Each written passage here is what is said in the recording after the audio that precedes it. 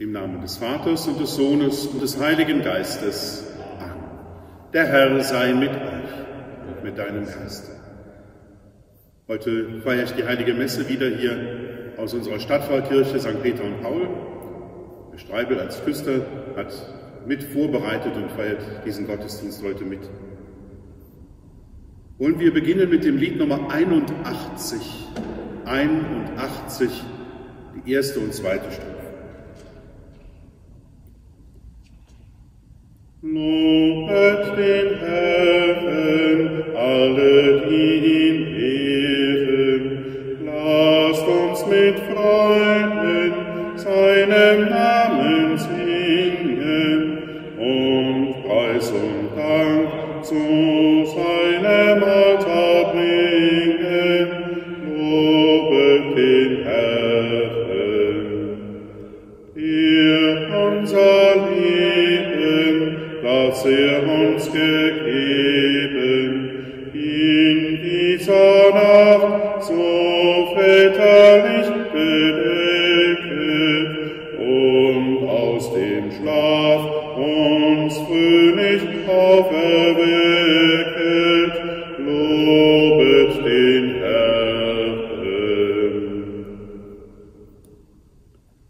wollen wir mit Dank und mit all unseren Sorgen und Anliegen zum Herrn kommen und ihn bitten, dass er sein Erbarmen ausgieße über uns und über die ganze Welt.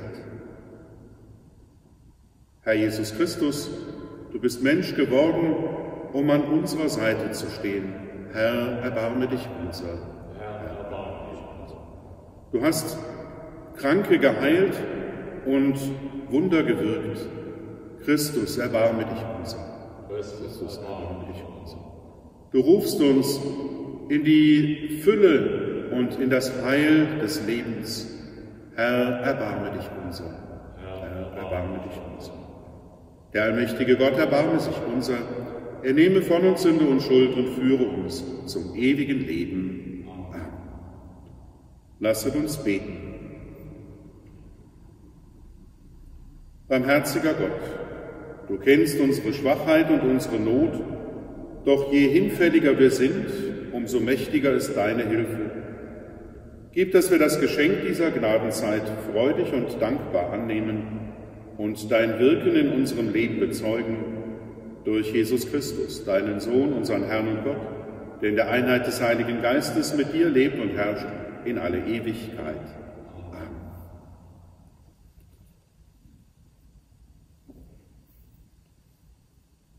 Lesung aus dem Buch der Weisheit. Die Frevler tauschen ihre verkehrten Gedanken aus und sagen, lasst uns dem Gerechten auflauern. Er ist uns unbequem und steht unserem Tun im Weg. Er wirft uns Vergehen gegen das Gesetz vor und beschuldigt uns des Verrats an unserer Erziehung. Er rühmt sich, die Erkenntnis Gottes zu besitzen und nennt sich einen Knecht des Herrn. Er ist unserer Gesinnung ein lebendiger Vorwurf. Schon sein Anblick ist uns lästig, denn er führt ein Leben, das dem der anderen nicht gleicht, und seine Wege sind grundverschieden. Als falsche Münze gelten wir ihm, von unseren Wegen hält er sich fern wie von Unrat. Das Ende der Gerechten preist er glücklich und prahlt, Gott sei sein Vater. Wir wollen sehen, ob seine Worte wahr sind und prüfen, wie es mit ihm ausgeht. Ist der Gerechte wirklich Gottes Sohn, dann nimmt sich Gott seiner an und entreißt ihn der Hand seiner Gegner. Roh und grausam wollen wir mit ihm verfahren, um seine Sanftmut kennenzulernen, seine Geduld zu erproben. Zu einem ehrlosen Tod wollen wir ihn verurteilen. Er behauptet ja, es werde ihm Hilfe gewährt. So denken sie, aber sie irren sich, denn ihre Schlechtigkeit macht sie blind. Sie verstehen von Gottes Geheimnissen nichts und hoffen nicht auf Lohn für die Frömmigkeit und erwarten keine Auszeichnung für untadelige Seelen. Wort des lebendigen Gottes. Dank sei Gott. Bei der Nummer 793 singen wir die erste und zweite Strophe. 793. Von guten Mächten treu und still umgeben, behütet und getröstet wunderbar, so will ich diese Tage mit euch leben und mit euch gehen in ein neues Jahr. Von guten Mächten wunderbar geborgen, erwarten wir getrost, was kommen mag. Gott ist mit uns am Abend und am Morgen und ganz gewiss an jedem neuen Tag. Noch will das Alte unsere Herzen quälen, noch drückt uns böser Tage schwere Last. Ach Herr, gib unseren aufgescheuchten Seelen das Heil, für das du uns bereitet hast. Von guten Mächten wunderbar geborgen,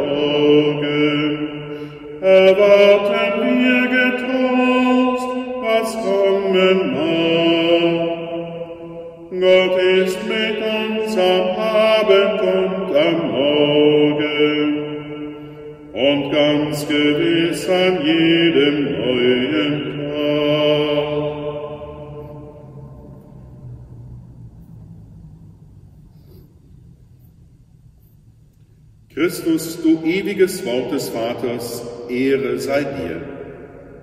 Christus, du ewiges Wort des Vaters, Ehre sei dir. Nicht nur vom Brot lebt der Mensch, sondern von jedem Wort aus Gottes Mund. Christus, du ewiges Wort des Vaters, Ehre sei dir. Der Herr sei mit euch und mit deinem Geiste. Aus dem heiligen Evangelium nach Johannes, Ehre sei dir, o Herr. In jener Zeit zog Jesus in Galiläa umher, denn er wollte sich nicht in Judäa aufhalten, weil die Juden darauf aus waren, ihn zu töten. Das Laubhüttenfest der Juden war nahe. Als seine Brüder zum Fest hinaufgegangen waren, zog auch er hinauf, jedoch nicht öffentlich, sondern heimlich. Da sagten einige Leute aus Jerusalem, ist das nicht der, den sie töten wollen?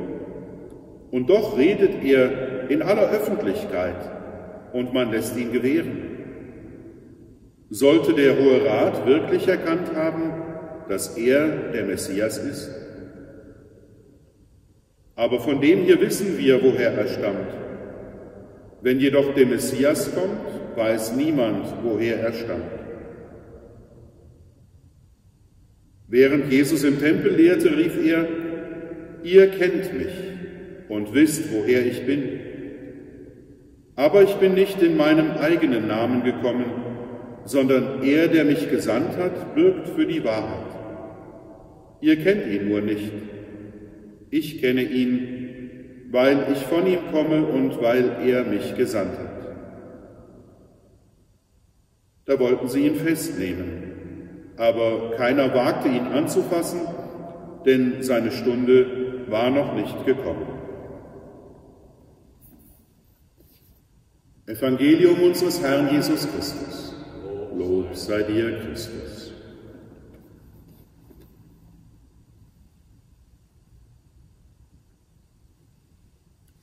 Während Jesus im Tempel lehrt, heißt es im Evangelium, das wir gehört haben, ruft er aus, ihr kennt mich und ihr wisst, woher ich bin. Und doch hält er den Juden vor, denen, die ihm zuhören, ihr kennt mich in Wirklichkeit doch nicht. Ihr meint, etwas von mir zu wissen und kennt mich doch nur halb oder noch weniger. Ihr kennt vor allen Dingen den nicht, der mich gesandt hat. Vielleicht können wir diese Zeit, in der alles etwas entschleunigt ist, in der man vieles von dem, was man sonst tut, nicht tun kann und von daher vielleicht etwas Zeit hat. Vielleicht können wir diese Zeit nutzen, um Jesus besser kennenzulernen. Jeden Tag einen Abschnitt im Evangelium zu lesen, wäre vielleicht eine sehr gute Möglichkeit, um ihm etwas mehr auf die Spur zu kommen. Denn es gilt wohl für uns alle, dass wir das Gefühl haben, etwas von ihm schon zu kennen. Aber ihn wirklich zu kennen, davon sind wir noch etwas entfernt. Nutzen wir die Gelegenheit, die Beziehung mit ihm zu stärken. Der Kontakt mit ihm kann immer unmittelbar sein, auch in diesen Tagen. Wir dürfen uns direkt an ihn wenden und die Gewissheit haben, er ist uns nahe. Er steht und geht an unserer Seite. Wollen wir ihn etwas näher kennenlernen, gerade durch die Begegnung mit ihm auch im Wort des Evangeliums, das wir zu Hause immer weiter lesen. Amen.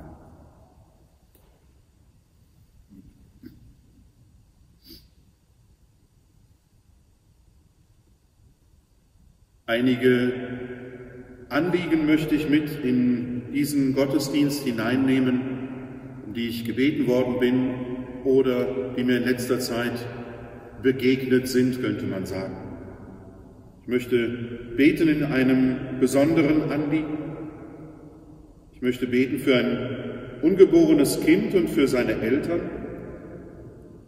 Ich möchte beten für unseren ehemaligen Pfarrer hier in St. Peter und Paul, Pfarrer Müllenborn. Und ich möchte beten für Schwester Martina und den Konvent der Schavierschwestern, in dem sie wohnt.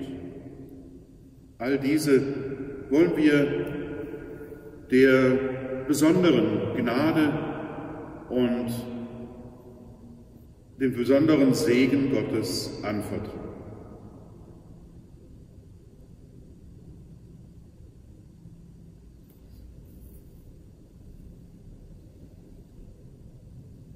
Gepriesen bist du, Herr, unser Gott, Schöpfer der Welt. Du schenkst uns das Brot, die Frucht der Erde und der menschlichen Arbeit wir bringen dieses Brot vor dein Angesicht, damit es uns das Brot des Lebens werde. Gepriesen bist du in Ewigkeit, Herr unser Gott.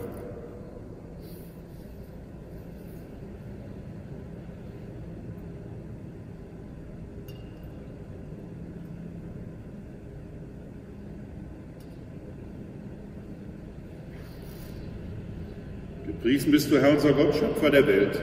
Du schenkst uns den Wein, die Frucht des Weinstocks und der menschlichen Arbeit. Wir bringen diesen Kelch vor dein Angesicht, damit er uns der Kelch des Heils werde. Gepriesen bist du in Ewigkeit, Herr unser Gott.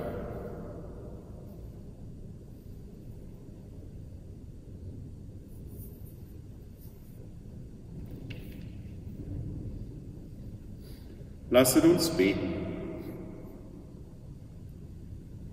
Wir bitten dich, allmächtiger Gott, das Opfer, das wir feiern, tilge unsere Schuld, damit wir in Lauterkeit den österlichen Tagen entgegengehen, in denen der Ursprung dieses Opfers liegt. So bitten wir durch Christus, unseren Herrn. Amen. Als Sanctus singen wir bei der Nummer 199.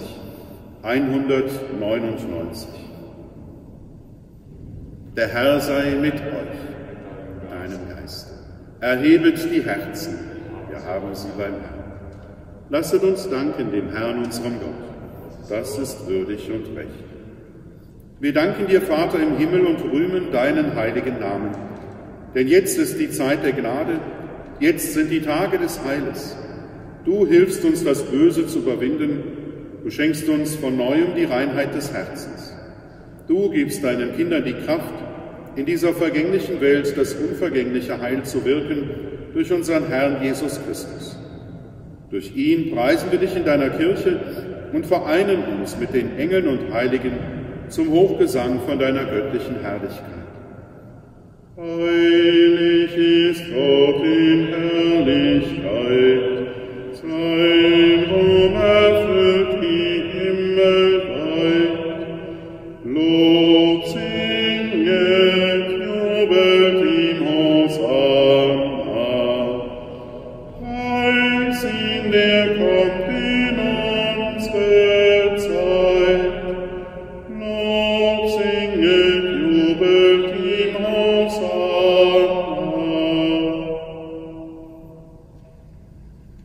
Ja, du bist heilig, großer Gott, du bist der Quell aller Heiligkeit.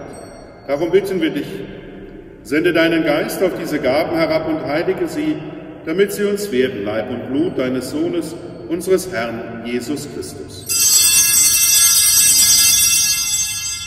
Denn am Abend, an dem er ausgeliefert wurde und sich aus freiem Willen dem Leiden unterwarf, nahm er das Brot und sagte Dank, brach es, reichte es seinen Jüngern und sprach, Nehmet und esset alle davon, das ist mein Leib, der für euch hingegeben wird.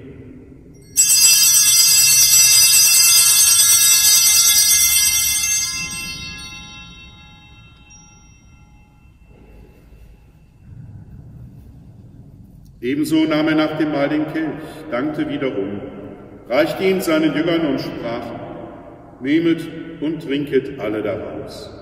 Das ist der Kelch des neuen und ewigen Bundes, mein Blut, das für euch und für alle vergossen wird zur Vergebung der Sünden. Tut dies zu meinem Gedächtnis.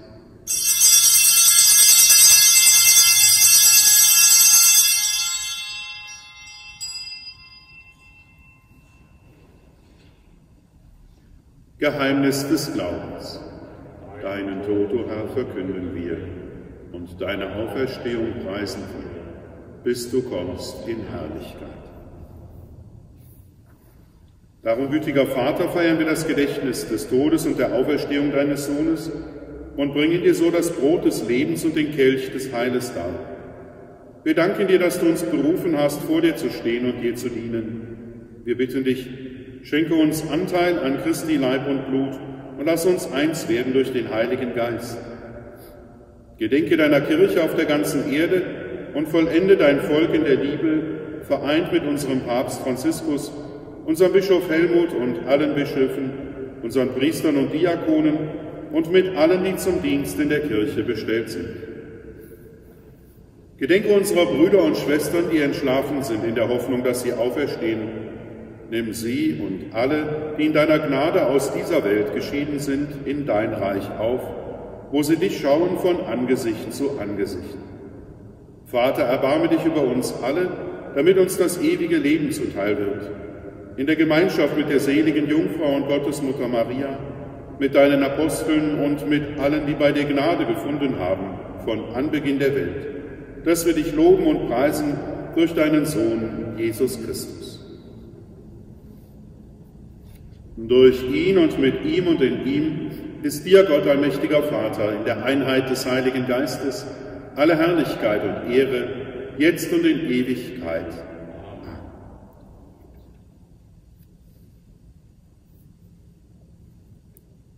Lasst uns beten, wie Jesus selber uns zu beten gelehrt hat. Vater unser im Himmel, geheiligt werde dein Name, dein Reich komme, dein Wille geschehe, wie im Himmel, so auf Erden. Unser tägliches Brot gib uns heute und vergib uns unsere Schuld, wie auch wir vergeben unseren Schuldigern. Und führe uns nicht in Versuchung, sondern erlöse uns von dem Bösen. Erlöse uns, Herr allmächtiger Vater, von allem Bösen und gib Frieden in unseren Tagen.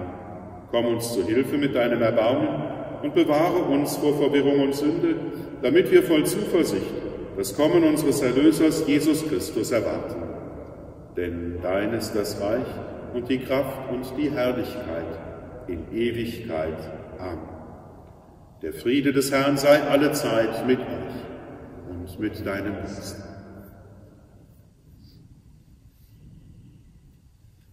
Lamm Gottes, du nimmst hinweg die Sünden der Welt, erbarme dich unser. Lamm Gottes, du nimmst hinweg die Sünden der Welt, erbarme dich unser. Lamm Gottes, du nimmst hinweg die Sünden der Welt, gib uns deinen Frieden.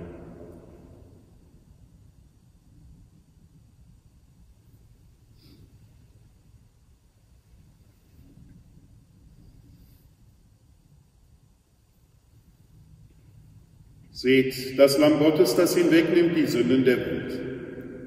Herr, ich bin nicht würdig, dass du eingehst unter mein Dach, aber sprich nur ein Wort, so wird meine Seele gesund.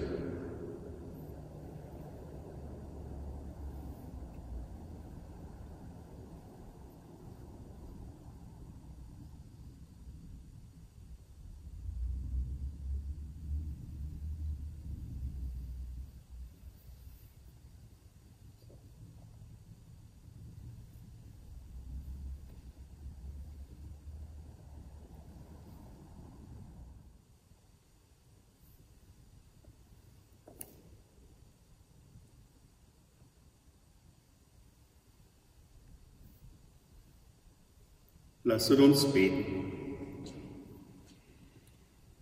Allmächtiger Gott, du hast uns von den alten zu den neuen Zeichen des Heils hinübergeführt. Lass uns die Gewohnheiten des alten Menschen ablegen und neu werden in Heiligkeit und Gerechtigkeit durch Christus unseren Herrn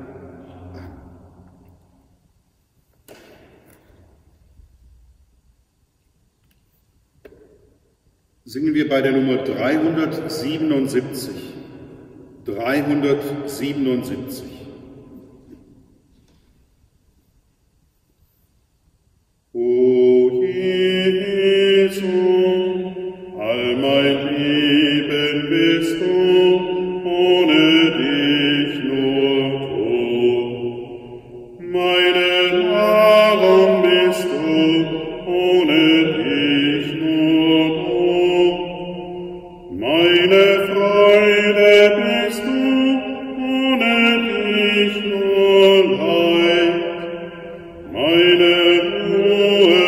Oh.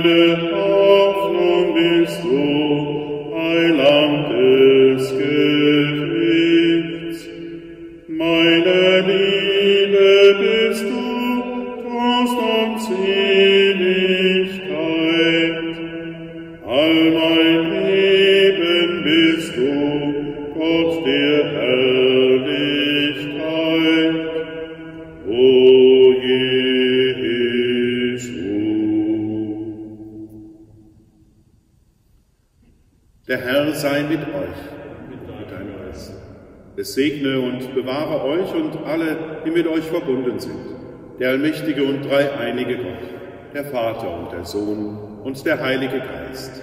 Amen. Geht hin in Frieden. Dank sei Gott dem Herrn.